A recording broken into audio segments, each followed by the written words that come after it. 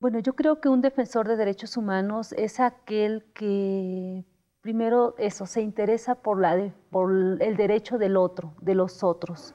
Eh, y lo que buscamos es, es eso, el respeto a los otros, una, una vida con justicia, una vida con dignidad.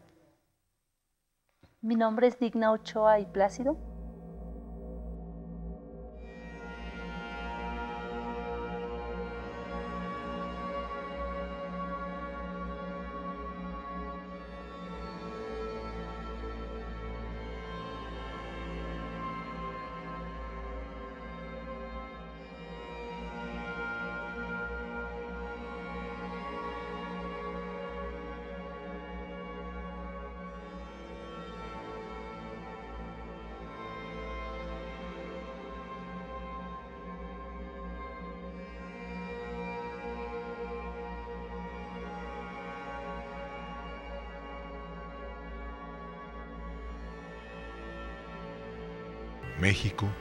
Es uno de los países en los que se cometen las más graves violaciones a los derechos humanos.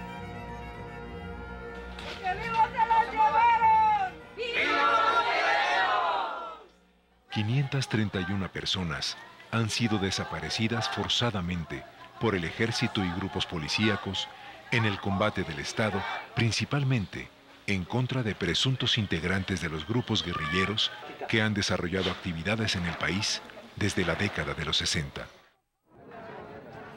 Hacia finales de la década de los 80, proliferó la creación de grupos no gubernamentales dedicados a la defensa de los derechos humanos. En mayo de 1990, la presidenta de la Comisión de Derechos Humanos de Sinaloa, Norma Corona, fue asesinada.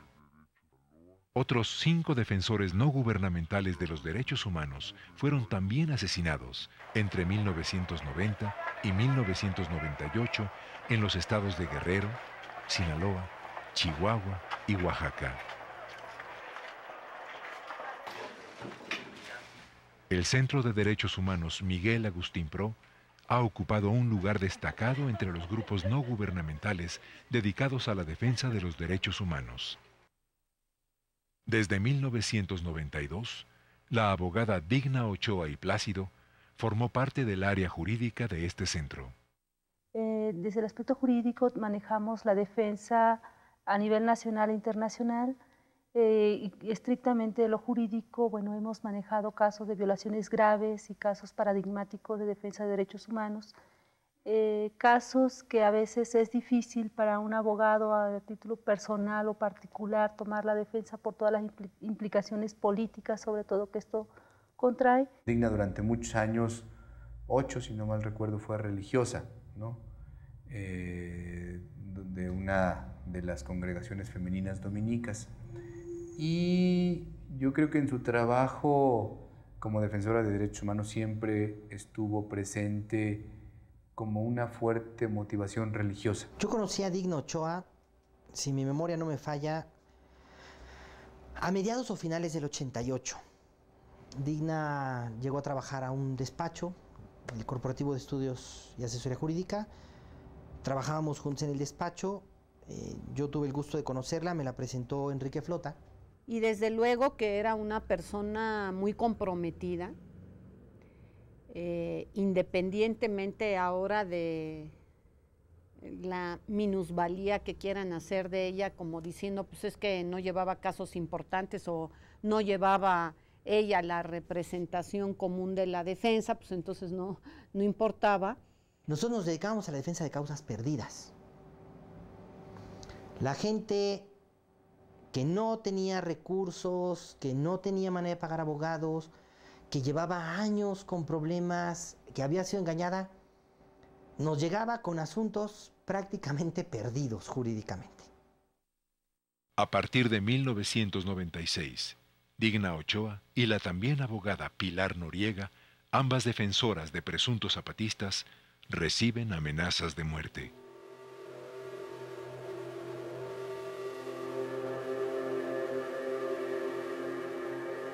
Este tipo de defensas y todo este trabajo conjunto del centro nos ha, ha sido causa de que seamos objeto de amenazas, de hostigamientos en diferentes momentos. Eh, bueno, en el 95-96, eh, fecha en que llevábamos algunos casos bastante relevantes, politizados a nivel nacional, y actualmente que tenemos casos bastante graves en los cuales están involucrados eh, diversos cuerpos policíacos, entre ellos policías judiciales federales, policías judiciales de los estados, municipales y militares. En la segunda mitad del 99 y principios del 2000 también una serie de amenazas contra ella, contra el equipo de los abogados y también contra mi persona. Y bueno, pues ese fue el, el segundo periodo de las amenazas. Entonces hay dos, los dos periodos siempre el Centro PRO estaba participando y llevando adelante pues, casos de violaciones de derechos humanos que podríamos considerar graves y en consecuencia también delicados, porque finalmente eran asuntos que señalaban, que denunciaban violaciones en donde estaban implicados miembros de instituciones públicas, bien del ejército, miembros del CISEN, miembros de la Secretaría de Gobernación, en fin. El 9 de agosto de 1999, Digna Ochoa es secuestrada durante cuatro horas. Dos meses más tarde, el 28 de octubre, vuelve a ser secuestrada e interrogada en su propio departamento durante nueve horas. Nuestro trabajo ha tocado intereses de algunas personas y nuestro trabajo siempre ha sido denunciar a las violadoras de derechos humanos y esto ha sido señalar a autoridades y grupos policíacos. Entonces, no hacemos otra cosa más que eso. Entonces, si, si los que se sienten afectados son autoridades y grupos policíacos, creemos que viene por ahí, por un lado. Y por otro, también creemos... Digna Ochoa recibe protección policíaca.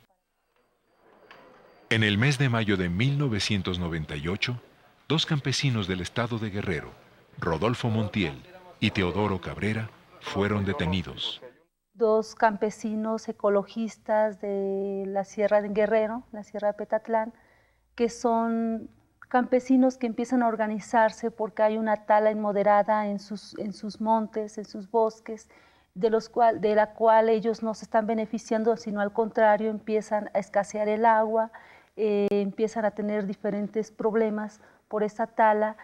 Eh, lo que hacen los caciques para poder frenar esta organización que empieza a protestar por esta tala inmoderada y sobre todo que empieza a afectar intereses económicos sobre todo, eh, em, empiezan a, hostigar y a perseguir a los campesinos, llegando al grado de como no tienen elementos para poderles fijar una responsabilidad jurídica, lo que hacen es fabricar delitos y fabricar culpables. Y es así como eh, intentan pues descabezar el movimiento encarcelando a Rodolfo, que era uno de los dirigentes, de esta organización y para esto eh, hacen uso de la tortura y hacen uso de, los, con apoyo de los militares. Los militares se prestan en este caso. Y finalmente que los jueces, conformidad... Es el 25 de noviembre de 1999, en el marco de la visita de la relatora de la Organización de las Naciones Unidas, Mary Robinson. Espionaje telefónico, allanamientos, robos de materiales, descalificación pública y hasta intentos de homicidio. Cabe destacar que la tortura psicológica se ha convertido en un mecanismo eficaz y sofisticado para inhibir el trabajo de los defensores de derechos humanos. La señora Robinson declaró durante su visita que en materia de derechos humanos, México cumple en el papel, no en la realidad.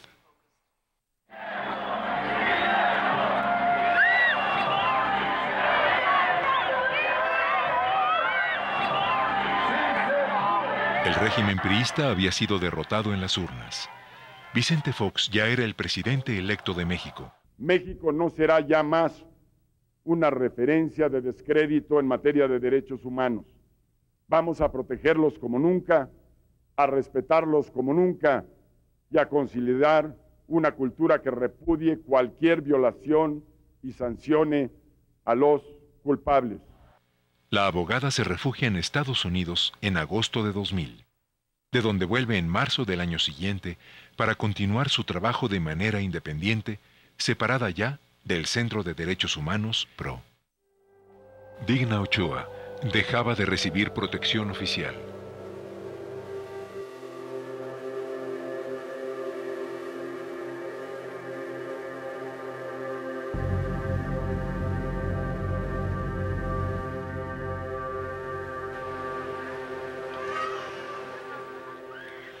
Durante los dos primeros días de octubre de 2001, Digna Ochoa visita las comunidades campesinas ecologistas en la Sierra de Petatlán, Guerrero, la organización de sus defendidos, Montiel y Cabrera.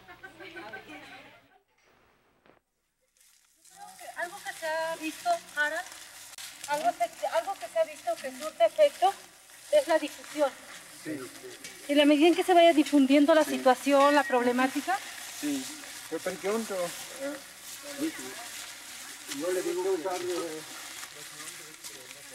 Yo soy digna, digna de nombre. este, yo vivo en el DF. Como dice Felipe, bueno, he trabajado en un centro de derechos humanos mucho tiempo, desde hace más de un año. Estoy fuera de ese centro, pero sigo trabajando.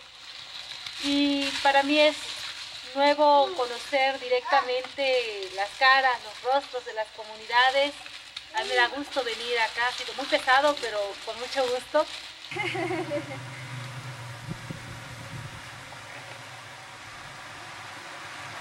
Vámonos. Dos semanas después de este momento, la abogada recibe un nuevo mensaje amenazante, el tercero, desde su regreso a México.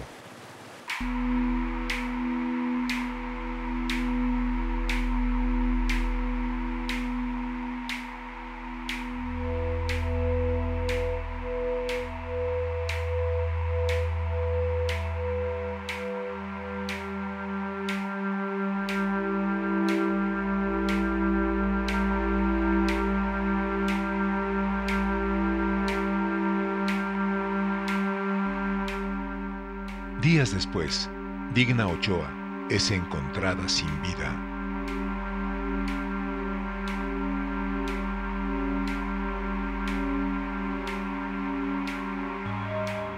La noche del 19 de octubre, en el despacho que Pilar Noriega le había cedido, su cuerpo yace con dos disparos, uno en el muslo izquierdo y otro en la cabeza.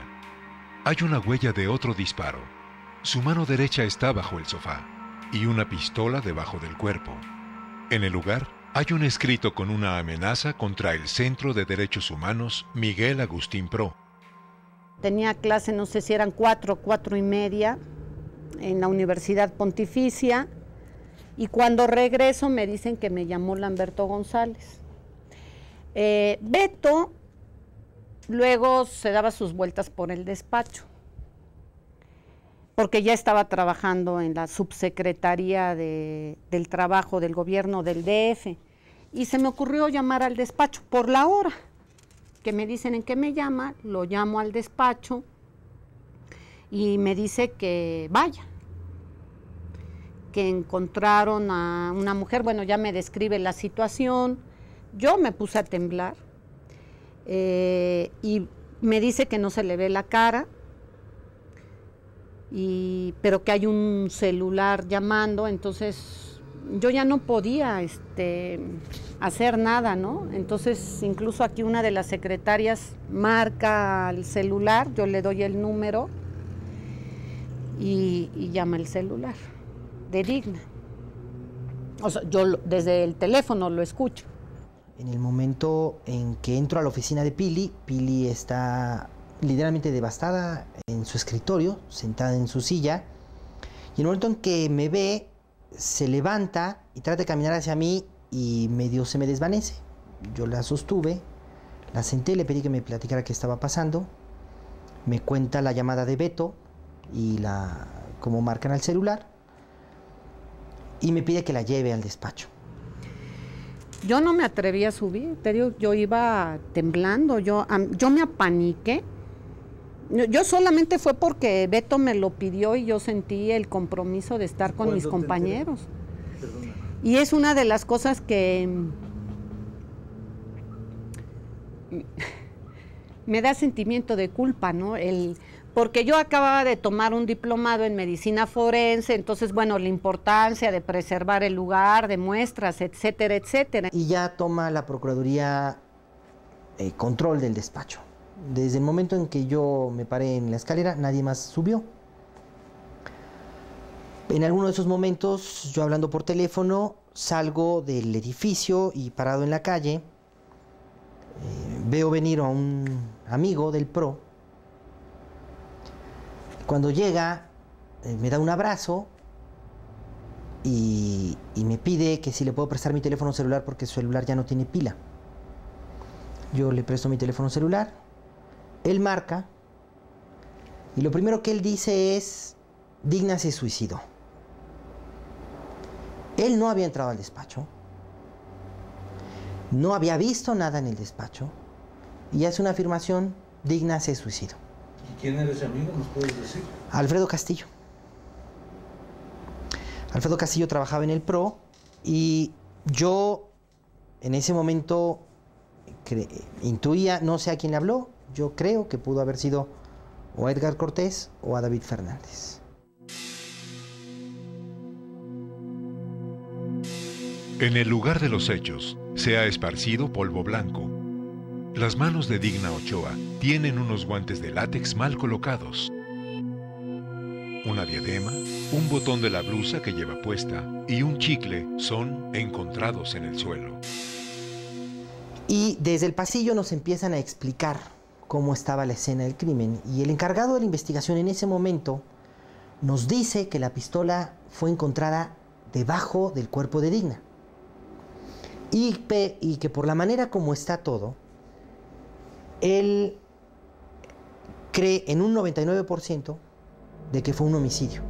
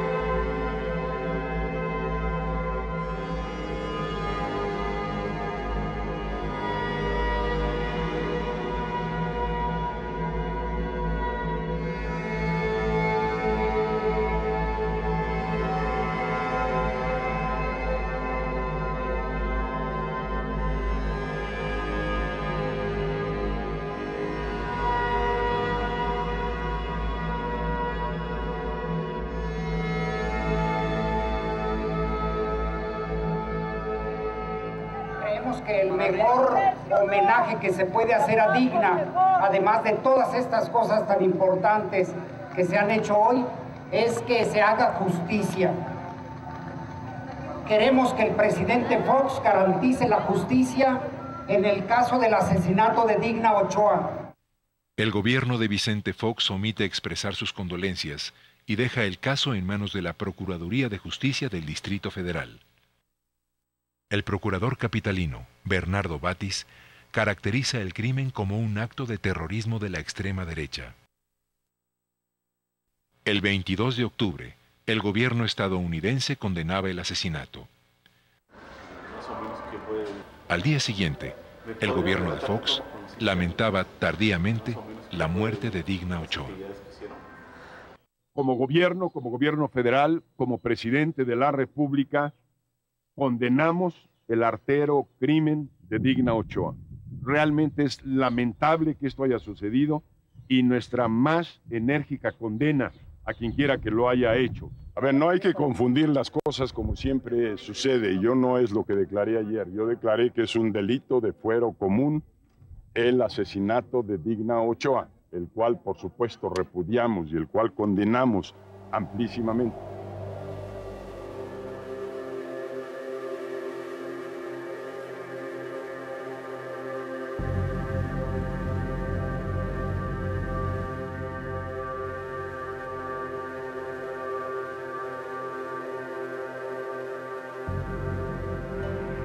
Diciembre de 2001. A casi dos meses del asesinato, el equipo que investigaba los hechos es reemplazado. El subprocurador Renato Sales Heredia encabeza al nuevo grupo investigador. El cambio anuncia un sorpresivo vuelco en el caso Digna Ochoa.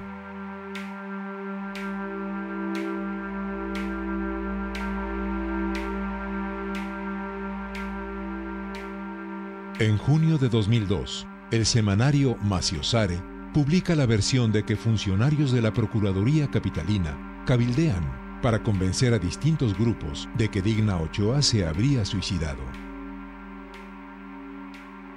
Un influyente asesor de la Procuraduría, Enrique Flota, es señalado como uno de los más activos promotores de la versión. La periodista canadiense Linda Dibble, autora del libro Betrayed, The Assassination of Digna Ochoa, se entrevistó en tres ocasiones con el subprocurador Sales. From the very first interview, he was leaning very, very heavily towards the suicide theory, and by the end of it was speaking as if Digna had committed suicide. He had a number of reasons for doing that. The first was the position of the body. He said that it would have been very difficult for killers to get in between uh, the bookshelf and where she lay in order to do it, to, to, to, commit the murder. The position of the shells, he said, indicated that she had been in this position and had shot herself. Also, he said that in the first interview, he said that she had shot herself with her right hand, wrapping her hand around like this. Remember, she was wearing these great big thick red rubber gloves and had shot herself like this. And later it turned out, of course, that she had shot herself of course I say, but he, in their uh, report, that she had shot herself using her left hand. Um, he demonstrated actually to me how she had done this using a stapler, which was one of the most surrealistic moments I've ever had in journalism to watch him doing that. La Procuraduría ha construido una explicación que presenta a Digna Ochoa como la inventora de su propio martirio. Se le atribuye ser la autora de las amenazas de muerte que recibió durante años. Uh, his main uh, theme was that Digna had killed herself in order to be a Christian martyr. And for evidence of that, he used a poem that he found in a book in the office uh, called St. Uh, Rosalie Talks to Jesus Christ in the Mirror and it suggested to him that, that she wanted to be a Christian martyr. He said this book, by the way, was left, had been pulled out, but I actually looked at pictures of the crime scene, and the book wasn't pulled out. It, it was, I mean, perhaps was it microscopically ahead of one of the other books? I don't, I don't know. It also wasn't one of her books. 19 de junio de 2002. A seis meses de tomar la investigación, Renato Sales renuncia ante la polémica que provoca la tesis del suicidio.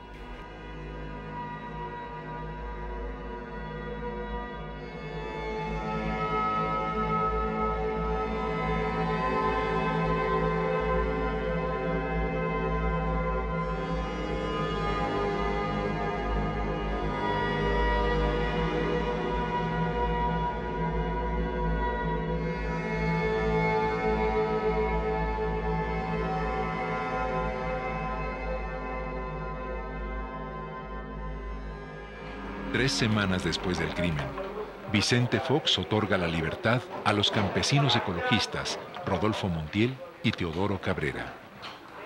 Que ya no haya más torturas y que nos dejen hacer nuestra labor ampliamente, porque eso fue lo que a nosotros nos llevó a la cárcel esta liberación está en términos que no son aceptables, no es, los compañeros este, son totalmente inocentes, son inocentes de los cargos porque se los acusan, y el hecho de que se les libere en un momento eh, de una situación política particular muestra que todavía no hay la disposición política de llevar a cabo eh, la justicia simple y llanamente porque es justa, sino que se, tiene que, eh, se tuvo que esperar la presidencia de la República a una situación tan grave como el asesinato de la compañera Digna Ochoa, y toda la repulsa generalizada tanto a nivel nacional como internacional que este asesinato generó.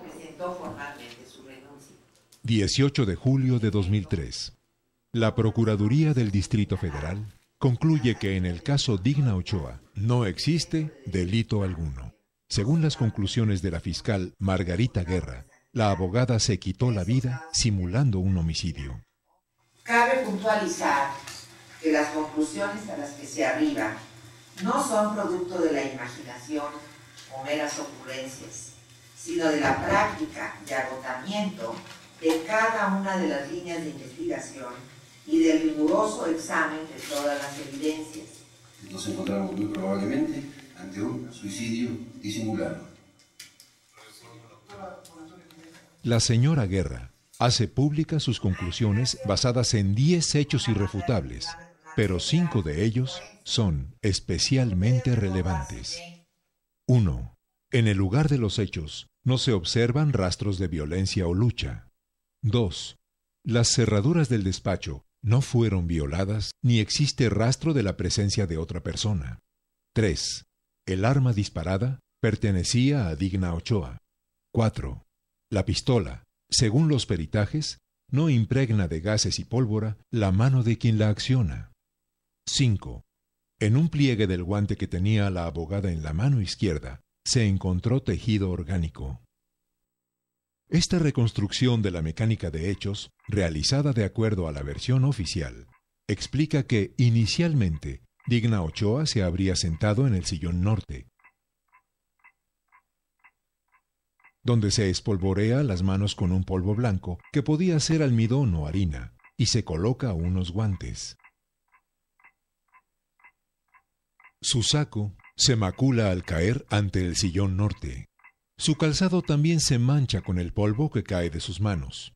Posteriormente, se dirige a la silla, en donde se encuentra su bolso de donde saca la pistola. Después, dispara en el sillón sur con la intención de verificar si los vecinos se acercan al lugar. Acto seguido, se dirige al sillón norte y se sienta. Se dispara en el muslo izquierdo de arriba hacia abajo, buscando la arteria femoral, con el propósito de provocarse la muerte por desangrado, por lo que espera alrededor de cinco minutos. Al no conseguirlo, se arrodilla, teniendo en el brazo derecho el saco, y se detiene frente al sillón sur. Cambia de mano la pistola y apunta con la culata hacia arriba. Finalmente, se dispara en la región temporal izquierda.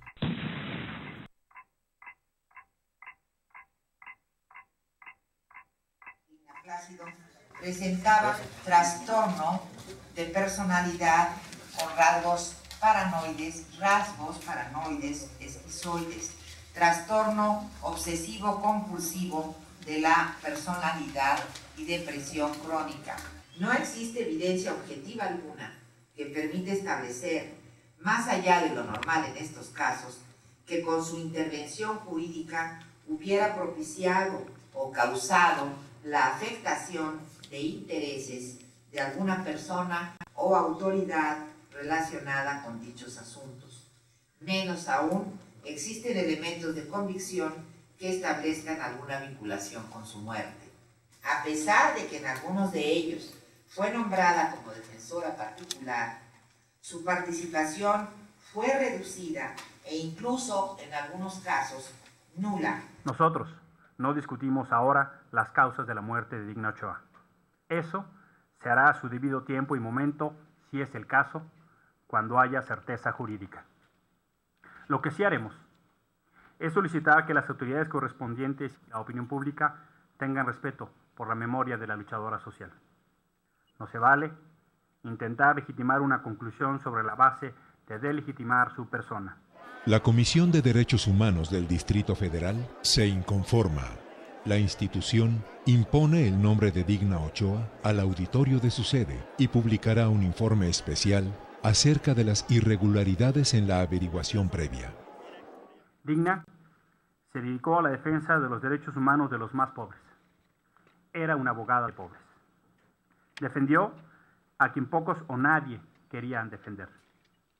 Bien porque no podían pagar un abogado o por el carácter político de sus acusaciones.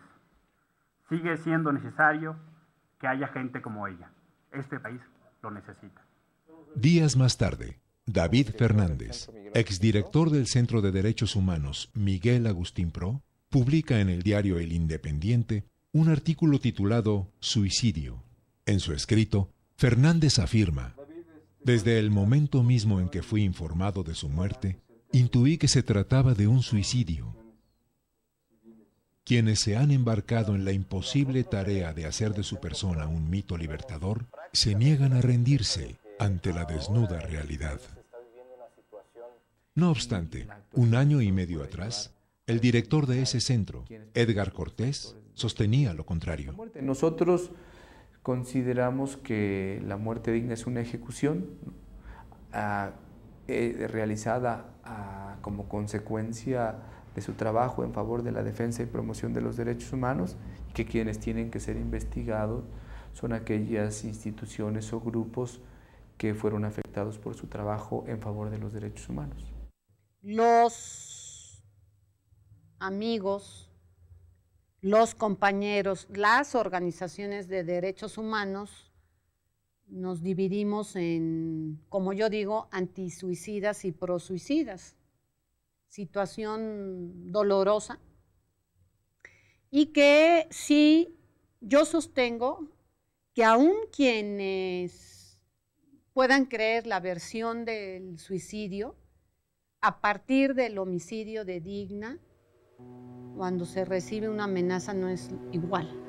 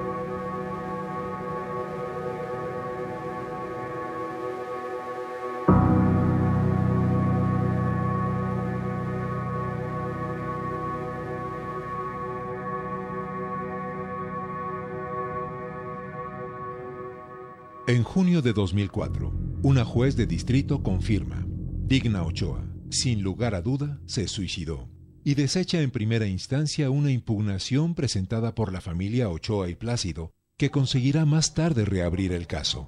La tesis del suicidio, sin embargo, exhibirá inconsistencias, pero principalmente pondrá en evidencia la negligencia y falta de profesionalismo en las investigaciones efectuadas por la Procuraduría Capitalina a la familia Ochoa y Plácido nos sorprende que este tipo de situaciones se den con un gobierno distinto, surgido de la lucha social, un gobierno de izquierda, que en un momento se comprometió a esclarecer dicho crimen e ir hasta las últimas consecuencias. Digna se siente en un sillón, toma una pistola y se dispara buscando la femoral a mí me encantaría saber cuánta gente en el mundo se ha suicidado tratando de darse un tiro en la femoral.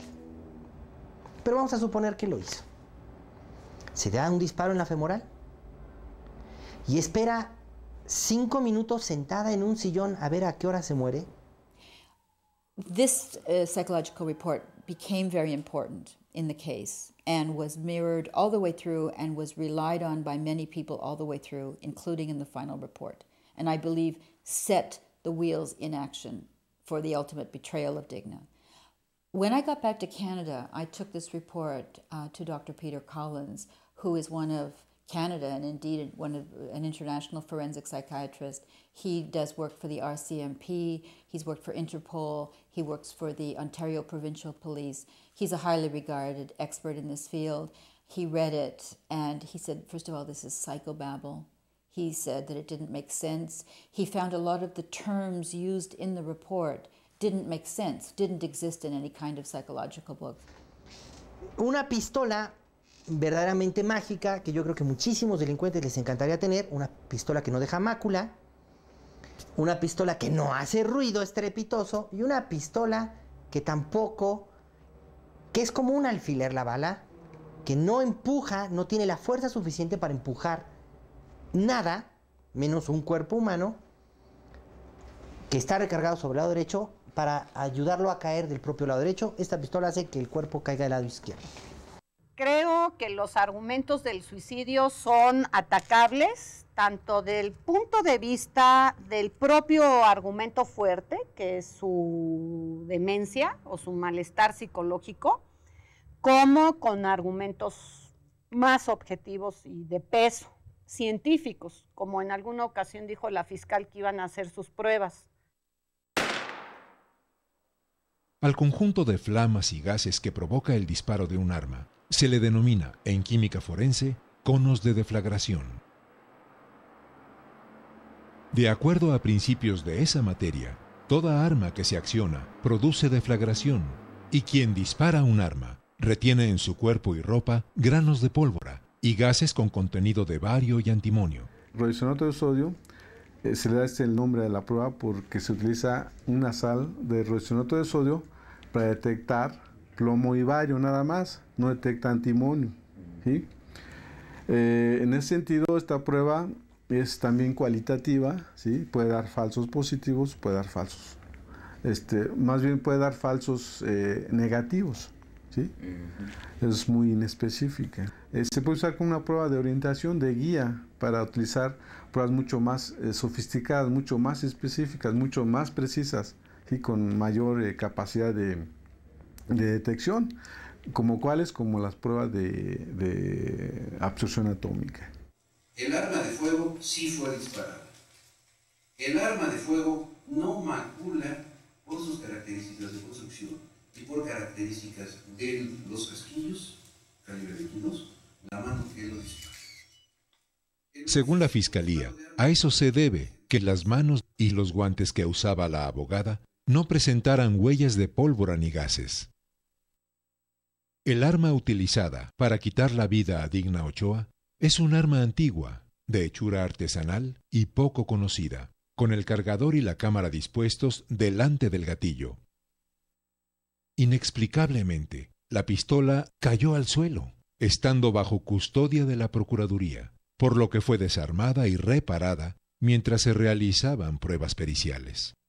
Según los especialistas, las armas antiguas suelen producir mayor deflagración. Si tienes un arma vieja, destartalada, poco excitada, si tú disparas, pues los gases que se van a expender van a ser bastantes. I went to many experts uh, in Canada, including Robert Warburton, who is now back in Australia, an internationally acclaimed ballistic expert, who said to me, as did others, Finn Nielsen used to be head of the Ontario Ballistic Center at the Ontario Center of Forensic Sciences, all guns leave gunshot residue. Porque las armas, si no eh, proyectan esos elementos eh, o esos conos de deflagración, estallarían, estallarían como una olla express por la presión. Y entonces lo normal es que la, las armas tengan fugas. Todas las armas, no puede haber una, una arma sellada al 100%, porque produciría ese efecto. Se destruiría el arma con el disparo. ¿no?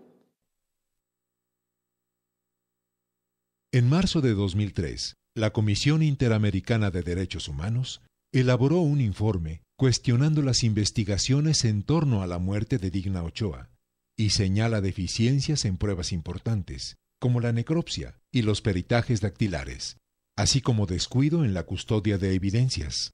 El documento destaca la falta de fundamentación científica de las opiniones de los peritos y la negativa a entregar información por parte de la Secretaría de la Defensa Nacional.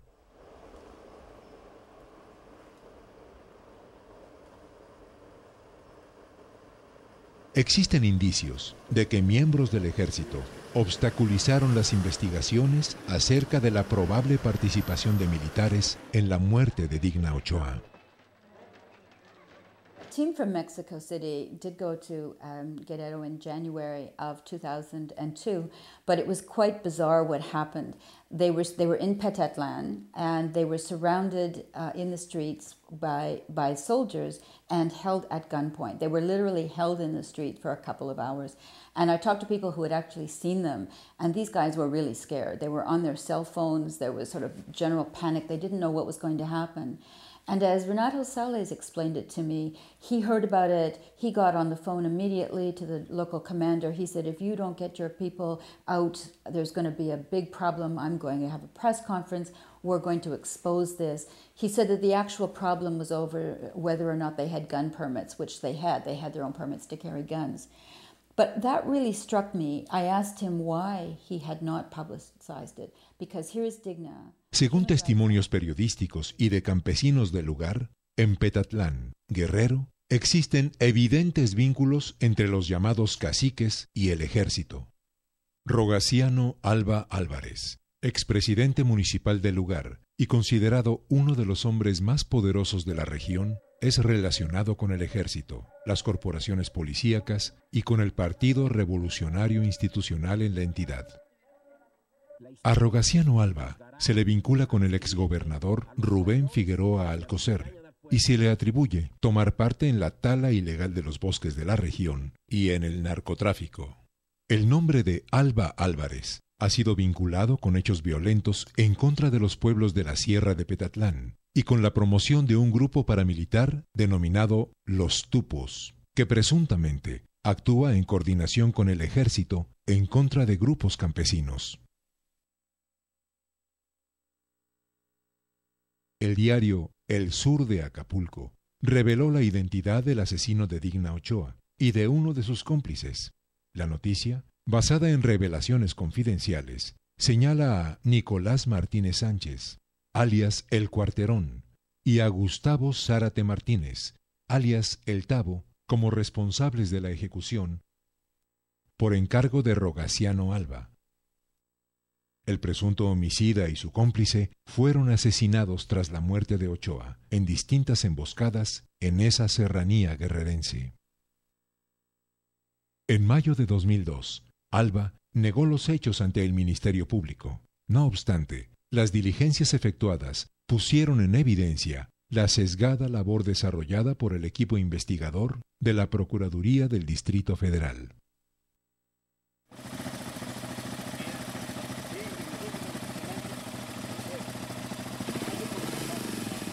Tras el asesinato de la abogada, la violencia se acentuó en las rutas de acceso a la Sierra de Petatlán, las mismas que Ochoa recorrió acompañada por el representante de una red internacional por el derecho a la alimentación, Harald Imig, y por dirigentes de la Organización de Campesinos Ecologistas.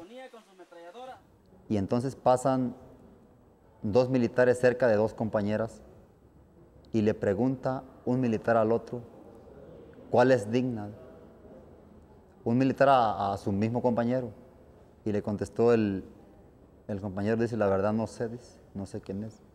Y siguen caminando y está digna parada y el compañero que venía de Alemania, que anduvo también con nosotros, y al pasar la señala nada más, le dijo uno al otro, donde estaba parada, le, le señaló quién era.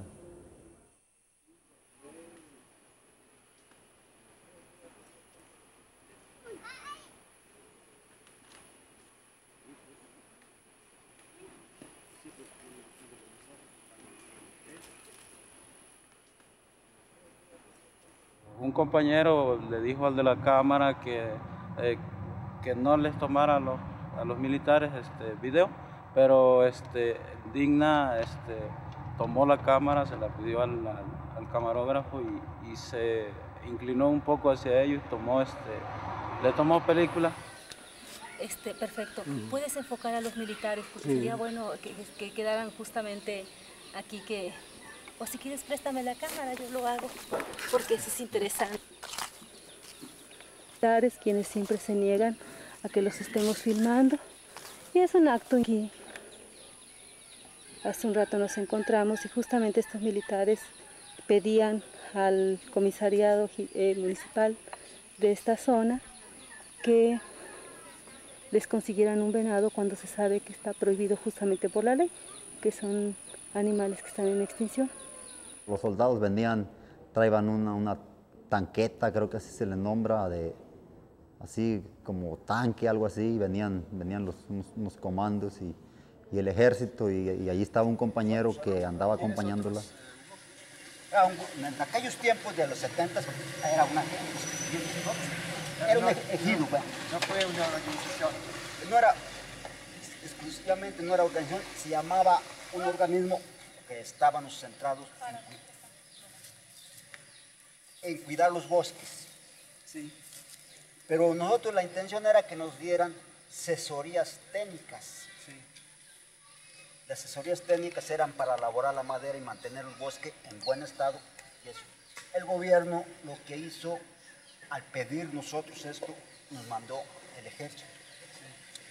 Y nos empieza a, a perseguir en esa época fue en el 76, 77, 78. Tiempo después, este hombre, Felipe Arreaga, será detenido y encarcelado en el marco de la persecución en contra del movimiento campesino ecologista.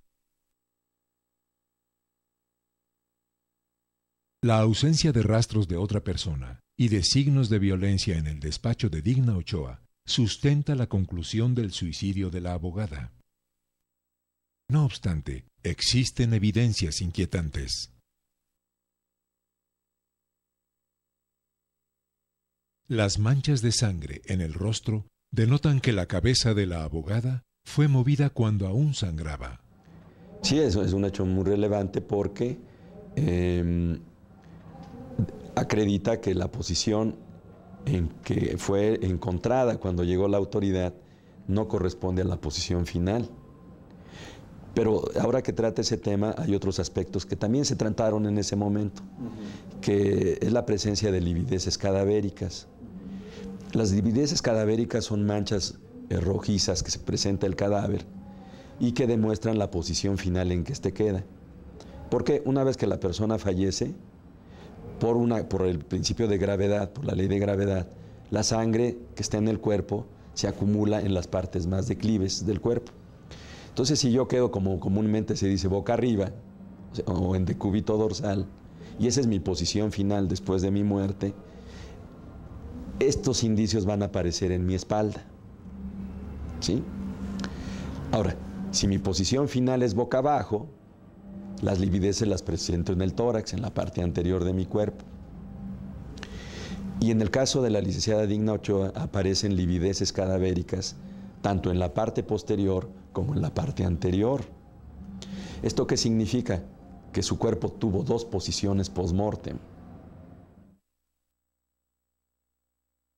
Las equimosis o moretones localizados en el muslo derecho de la abogada fueron descritos por la Fiscalía como de color azul verdoso, lo que, de acuerdo a principios de medicina forense, significaría que se habrían originado días antes del suceso. No obstante, los criminalistas que revisaron el cadáver señalaron que los moretones eran de color violáceo y que correspondían al momento de la muerte de Digna Ochoa. Más evidencias. Una equimosis en el párpado superior derecho. Otra en el lóbulo de la oreja del mismo lado. Y marcas en el cuello, todas desestimadas en la investigación oficial. Y algo que les llamó mucho la atención a nuestros peritos es que junto a esas huellas, junto a esos vestigios, apareció una pequeña reglilla, que esas reglillas las utilizan los médicos forenses y los peritos en criminalística para indicar la presencia de un indicio importante. Los labios de la abogada muestran dos marcas, aparentemente la huella de un traumatismo.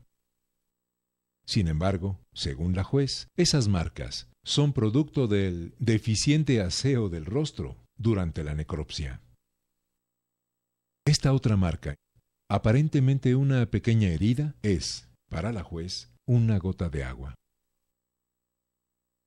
Nosotros no tenemos por qué falsear y tampoco tenemos la capacidad para alterar algún video o alguna fotografía. Nosotros no sabemos nada de eso. Simplemente eh, recogemos el material que obra en poder de la propia Procuraduría Capitalina. ¿Sí? Y creo que este, son realmente elementos de prueba para demostrar lo contrario a lo que ellos estuvieron desde el principio a final.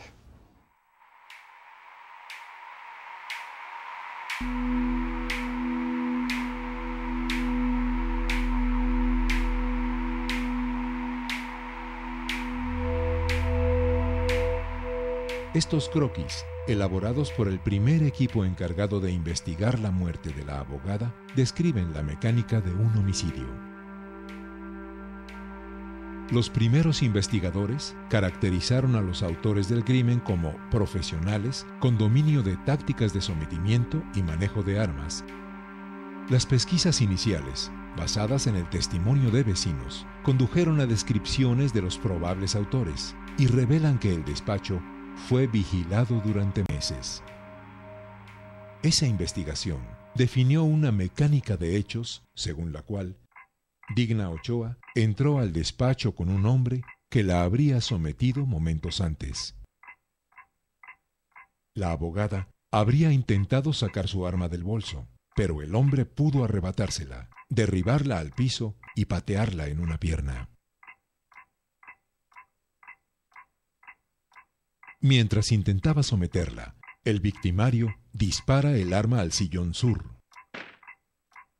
Luego, fuerza a la víctima a sentarse en el sillón del lado opuesto. Cambia de mano el arma y dispara en su muslo izquierdo. Ambos se levantan. El victimario la arroja violentamente. Ella cae de rodillas, con la cabeza sobre el asiento. De pie, con las piernas abiertas una a cada lado del cuerpo de la víctima, el victimario utiliza su mano derecha para sujetar y levantar de los cabellos su cabeza.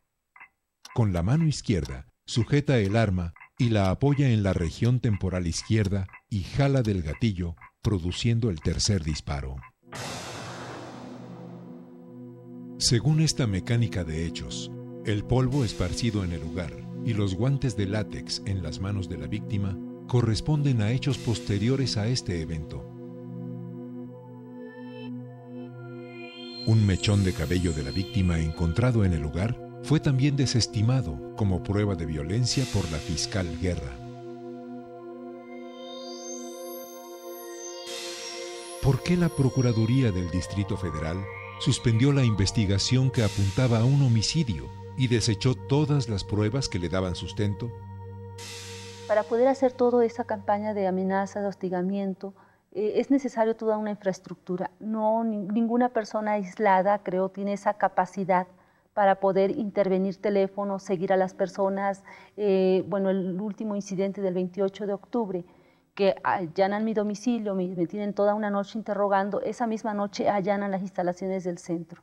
Entonces, cuando el tipo de interrogatorio, por ejemplo, al que fui sometida, eh, yo digo, bueno, primero el tipo de pregunta siempre fue encaminado a que yo dijera, por ejemplo, el tipo de relación que teníamos con grupos guerrilleros, tipo de armas que nosotros utilizamos, eh, quiénes son los contactos.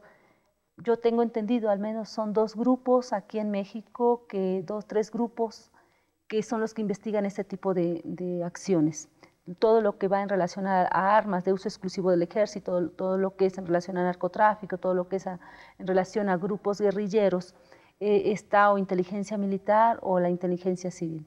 Entonces, y concretamente la Policía Judicial Federal, la Policía Federal Preventiva, o este, bueno, con esta parte del CISEN. Y la compañera es abogada, ella es Digna Ochoa. En algún tiempo ella nos ha echado la mano con los compañeros eh, están presos y actualmente ella ha estado haciendo otros trabajos, pero la invitamos a venir para que conociera estas comunidades. I think that Digna was let down by politicians of all stripes, on the left and on the right. When she was killed, uh, Andres Manuel Lopez Obrador, who, had, like Fox, uh, came to power in Mexico, he followed Cuauhtémoc Cárdenas, of course, but great expectations, said that they would stop at nothing to investigate her murder. And the ease with which he said that he was satisfied that they had done a good job really, I think, is really worrisome and suggests that human rights workers aren't going to have protection no, no matter who is in power. Y no vamos a descansar hasta que el caso Digna Ochoa sea esclarecido. Aunque el tiempo es un factor muy importante que juega, que, está del lado de los asesinos materiales e intelectuales, ¿sí? que ellos mismos actuaron con la complicidad para familia Ochoa y Plácido, con la complicidad del procurador capitalino Renato Sales Heredia, eh, Margarita Guerra y Enrique Flota. Estoy segura de que los defensores de derechos humanos, los verdaderos defensores de derechos humanos, no le quiero restar por ello importancia a la institución de, a, la que ella pertenecía, pero sí, de ninguna manera estamos hablando aquí de descalificar o de decir que ya no hay riesgos que vivimos en el planeta de la seguridad. Eso es obvio que no. Sin embargo, no podemos negar que una vez analizados todas y cada una de sus intervenciones, sería en todo caso alguno de los otros miembros de ese equipo el que podía haber corrido al riesgo y no así la persona. Mi